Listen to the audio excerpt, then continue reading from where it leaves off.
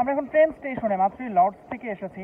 বাংলাদেশের বিশ্বকাপ তো শেষ হয়ে গেছে, কিন্তু বিশ্বকাপ আসলে শেষ হয়নি। কিন্তু বাস্তবতা হচ্ছে আমরা যারা জার্নালিস্ট বাংলাদেশ থেকে এসেছিলাম এই বিশ্বকাপ কাভার করতে বা এসেছি, কাজ করছি, তাদের কাছে আসলে বাংলাদেশ মানেই ছিল বিশ্বকাপ। সেটা শেষ হয়ে গেছে, কাজ শেষ হয়ে গেছে, আমরা খুব শীঘ্রই ঢাকায় ফিরে যাব। তো বিশ্বকাপের শেষ দিকে যত এগিয়ে আসছিল, ততই গুঞ্জন, আলোচনা বেড়ে উঠছিল মাশরাফি বিন মর্তুজাকে ঘিরে। অনেকেই ধরে নিয়েছিলেন, আজকে তিনি খেলবেন না। এরপর কথা হলো যে আজকে তিনি একটা ঘোষণা দেবেন কোনো কিছু যদিও শেষ পর্যন্ত এর কোনোটাই কিছু হয়নি। ফারজানা জহির পমি এবং আমি আমরা দুজনেই ছিলাম সেখানে প্রেস কনফারেন্সে ঠিক কেমন হলো কি বলল মাশরাফি সেসব নিয়ে আমাদের এই ভিডিও কি বলল মাশরাফি এবং আপনার কাছে কেমন মনে হলো সব মিলে? ফারজানা জহির পমি মাশরাফির আজকে মন মানসিকতা কেমন দেখলেন?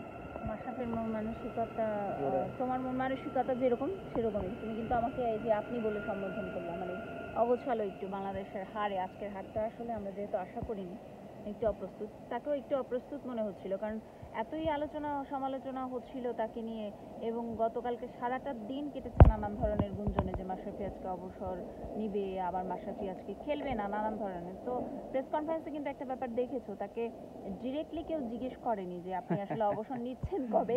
এটা জিজ্ঞেস করার সাহসও সম্ভবত কারোই হয় এখানে একটু আমি হ্যাঁ। তোমাকে একটু থামাতে চাই বিকজ সামাজিক যোগাযোগ মাধ্যমে যেটা দেখছিলাম সাংবাদিকদের দিকে বেশ অভিযোগের আঙুল উঠেছে। আমরা যারা সাংবাদিক আমরা নানাভাবে বিভিন্ন ক্রিকেটারকে বাঁচানোর চেষ্টা করি বা সেভ করার চেষ্টা করি। আমি জানি না এটা কতটুকু সত্যি মিথ্যে এটার ভার আসলে আপনাদের উপরই। তবে আমরা যেটা মনে করি আমরা আসলে আমাদের কাজটাই করি। এবং যেটা সত্যি কথা হয় ক্রিকেটারদের সঙ্গে এখন হয় না? আপনি একটা মানুষের সঙ্গে চলতে ফিরতে গিয়ে অনেক বেশি হয়তো আপনি ক্লোজ হয়ে যান কেউ কেউ। অন্যরকম। তিনি সাংবাদিকদের সাথে অন্যরকম। তার আসলে স্বভাব সুলভ। কিছু মানুষের স্বভাব থাকে না যে। মানে খুব মিশুক সবার সাথে গল্প করতে পছন্দ করেন আমোদি মাশরাফি আসলে সেই ক্যারেক্টারটা। তেমন তিনি সব যে কোনো জায়গায় আড্ডা দিতে পছন্দ করেন ঘুরতে পছন্দ করেন। যাই হোক আমি যেটা বলছিলাম যে জার্নালিস্টরা কেউ তাকে সরাসরি জিজ্ঞেস করার সাহস পায়নি যে আপনি আসলে অবসর নিচ্ছেন কবে? কয়েকজন টেকনিক্যালি জিজ্ঞেস করেছে যে ফিউচার প্ল্যান কি? মাশরাফিও সেটার অ্যান্সার খুবই টেকনিক্যালি দিয়েছে যে গোয়িং হোম ফিউচার প্ল্যান হচ্ছে এই মুহূর্তে গোয়িং হোম তো তিনি কিন্তু সেটা জানেন এবং কয়েকজন বলছিল যে বিশ্বকাপে এটা আপনার শেষ ম্যাচ সব কিছু মিলিয়ে আপনার মানে কেমন লাগছে বা কেমন হলো শেষটা? সম্ভবত এক্সপেক্ট করছিল যে বিশ্বকাপের শেষ ম্যাচ এবং ইন্টারন্যাশনালের শেষটা কবে হবে সেই সম্পর্কেও কিছু মাশরাফি বিন মর্তুজা বলবেন। তখনও তিনি কিন্তু টেকনিক্যালি অ্যান্সার দিয়েছে যে আমার যে বিশ্বকাপের শেষ ম্যাচ সেটা তো আমি বাংলাদেশে থাকতেই জানিয়ে এসেছি শেষ ম্যাচ হবে বিশ্বকাপের এটা তো সবাই জানে। মানে নতুন করে কিছু বলেন আচ্ছা আমি একটু আরেকটু পরিষ্কার করি। সেটা হচ্ছে যে এক্ষেত্রে আমরা আরেকটু ক্লিয়ার করতে পারি। প্রথমত হচ্ছে যে, মাশরাফির তো বিশ্বকাপের শেষ ম্যাচ এটা নিঃসন্দেহে, এটা নিয়ে কোনো ডাউট নেই। সেকেন্ডলি দেশের বাইরে, বিদেশের মাটিতেও হয়তোবা, একটু সাহস করে বলেই দেওয়া যায়, হয়তো না, দেশের বাইরে মাশরাফির শেষ ম্যাচ আন্তর্জাতিক ম্যাচ হয়তো তিনি খেলে ফেলেছেন। কিন্তু যেহেতু মানুষটা মাশরাফি শেষ বলে কিছু নেই। আচ্ছা প্রেস কনফারেন্সে এক্স্যাক্টলি ইংরেজিতে তাকে করা হয়েছিল প্রশ্নটা। প্রশ্নটা ছিল এরকম, এই যে বিশ্বকাপ গেল পুরোটা, আপনার কাছে মূল্যায়ন? ইংরেজিতে এবং এর পরের প্রশ্নটাই ছিল ওর সঙ্গে একটা সম্পূরক প্রশ্ন ছিল and what is your future plan তো মাস্টারবি খুব দারুণভাবে উত্তরটা দিয়েছেন। বাংলাদেশের জন্য তিনি ভবিষ্যৎ দিক নির্দেশনা দিচ্ছিলেন, আর কি কি ল্যাকিংস ছিল সেগুলো বলছিলেন এবং শেষ ওই প্রশ্নটা তিনি ভুলে গিয়েছিলেন, এড়িয়ে যেতে চেয়েছিলেন। তো তখন তাকে আবারও মনে করিয়ে দেওয়া হয় যে আপনার ফিউচার প্ল্যানটা কি সেটা আমরা জানতে চাই। তিনি তখন বললেন যে খুব ছোট্ট করে দুটো শব্দ বললেন of course future plan is going home অর্থাৎ তিনি বাড়িতে যেতে চান, এটাই হচ্ছে তার আপাতত ফিউচার প্ল্যান তাহলে মাশরাফির আসলে অবসরের বিষয়টা তাহলে কি দাঁড়াল? প্রথমত তিনি আজকের ম্যাচে অবসর নেননি, সেরকম কোনো ঘোষণা আসেনি, অর্থাৎ তিনি থাকছেন বাংলাদেশ দলের হয়ে, কিন্তু বাংলাদেশ দলের নেক্সট মিশন যেটা শ্রীলঙ্কা সেটাই তিনি যাচ্ছেন কিনা সেটা নিয়ে একটা আলোচনা হতে পারে। হ্যাঁ বাংলাদেশ দল চব্বিশ পঁচিশ তারিখের দিকে চলে যাচ্ছে শ্রীলঙ্কায়। তো আমার যেটা মনে হয়েছে যে এই বিষয় নিয়েও কিন্তু কথা হচ্ছে অনেক, যে মাশরাফি বিন সম্ভবত সেখানে যাবেন না, বা হচ্ছে তিনি রেস্ট চাইতে পারেন এটাতে, এবং আজকে তিনি যেভাবে কথা বলেছেন যে বাড়িতে যাব ফ্যামিলির সাথে, আমার মনে হয় যে তিনি এই টুকটায় না যাওয়ার সম্ভাবনাই বেশি। এখন বোর্ডের প্রেসারে বা প্রেসার তো না, নিশ্চয়ই রিকোয়েস্ট করা হবে তাকে। কারণ যতটুকু মনে হয়েছে যে তিনি নিশ্চয়ই তার অবসরটা দেশের মাটিতে করতে চান, অবসরটা রিটায়ারমেন্টটা ঘোষণা করতে চান, সেক্ষেত্রে যে, যেহেতু শ্রীলঙ্কা সফরটা শ্রীলঙ্কায় গিয়ে হচ্ছেন, ওটাতে মনে হচ্ছে না যে তিনি খেলবেন যে, বা তার তো একটা হ্যামস্ট্রিং ইনজুরি আছে, সেটা কিন্তু এখন স্ট্রেস গ্রেড টুতে আছে, সেটাকে যে খুব ভালো একটা অবস্থায় আছে তা কিন্তু না। তো এই বিশ্বকাপটাও তিনি খেলেছেন খুব বাজেভাবেই ইনজুরি নিয়ে খেলেছেন বিশ্বকাপ বলেই তিনি চালিয়ে গেছেন খেলাটা। তো শ্রীলঙ্কার বিপক্ষে একটা খেলা, শ্রীলঙ্কায় গিয়ে আমার মনে হয় না যে আর তিনি রিস্ক নেবেন। হয়তো তিনি রেস্ট করবেন এবং আমাদের হোম কোনো সিরিজ হলে ঘরের মাটিতে কোনো সিরিজ হলে সেটা খেলে যতদিন মন চায় তিনি খেলবেন এবং খুব দ্রুতই সম্ভবত কারণ যেহেতু তার শরীরে কুলাচ্ছে না শরীরের একটা ব্যাপার আছে আহ শরীরের রাইট এছাড়া আসলে তিনি এখন মেম্বার অফ পার্লামেন্ট এমপি সেই দিকেও তাকে আসলে মনোযোগ দিতে হবে রাজনীতিতে। তবে এই বিশ্বকাপে যেহেতু পারফরমেন্সের কথা উঠল মানে মাশরাফির আমার মনে হয় তার ক্যারিয়ারই সবচেয়ে বাজে সময় কাটালেন। তিনি যদি দেখেন গত চার বছর ইনফ্যাক্ট দু হাজার চোদ্দ সালে তিনি অধিনায়কের দায়িত্ব পেলেন দু হাজার পনেরো বিশ্বকাপ তার নেতৃত্বে অসাধারণ একটা বিশ্বকাপ কাটালো। এশিয়া কাপের আমরা ফাইনাল খেললাম নিদাস ট্রফি ফাইনাল খেললাম, সবকিছু কিন্তু মাশরাফির নেতৃত্বেই হলো। এবং এই বিশ্বকাপের আগ পর্যন্ত পরিসংখ্যানে বলুন আর্লি ব্রেক থ্রু এনে দেওয়ার দিকে বলুন, সব দিক দিয়ে মাশরাফি কিন্তু অন্যতম সেরা পারফর্মার ছিলেন।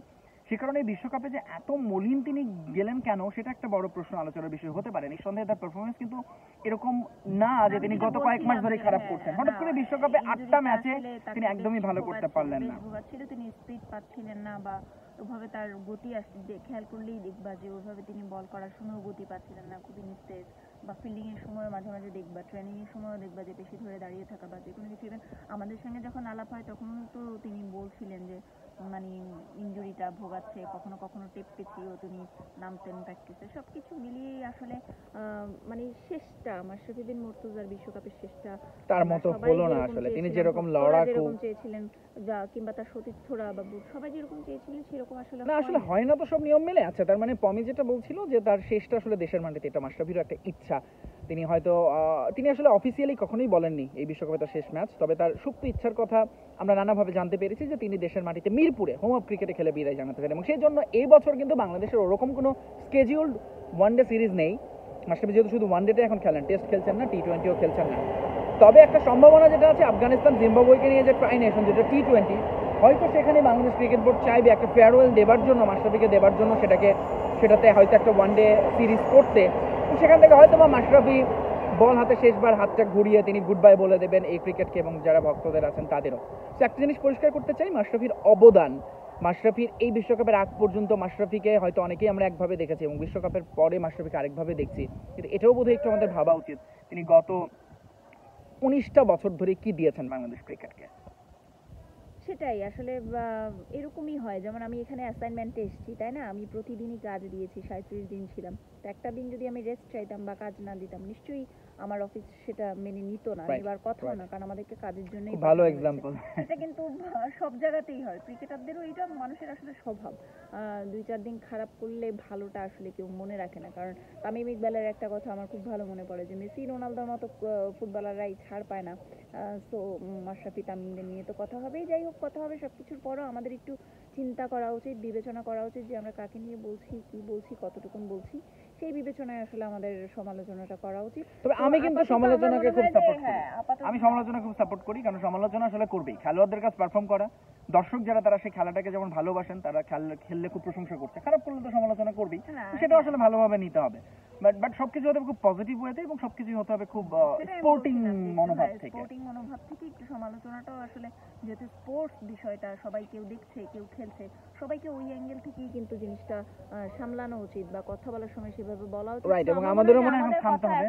আমাদের ট্রেন চলে আসবে তখন আমরা একটা স্টেশনে বসে আছি। থেকে আমি বিদায় নিয়ে নিচ্ছি কারণ আমার ভোরে ফ্লাইট আমি বাংলাদেশে ফিরছি। আহ, বিলেত থেকে রাজার দেশে রানীর দেশের থেকে আমি বিদায় নিচ্ছি। এখানে যদিও ওয়ার্ল্ড কাপের আহ, শেষ হচ্ছে না তবুও আমি ওই ওয়ার্ল্ড কাপ থেকে সাইন আউট করছি কারণ বাংলাদেশ টিমকে ফলো করা পর্যন্তই। আমার অ্যাসাইনমেন্ট মানে মাস্টারফির মতো আর কি বাংলাদেশ জানা জয়ের পমিও মাস্টারফির মতো বিদায় নিচ্ছে।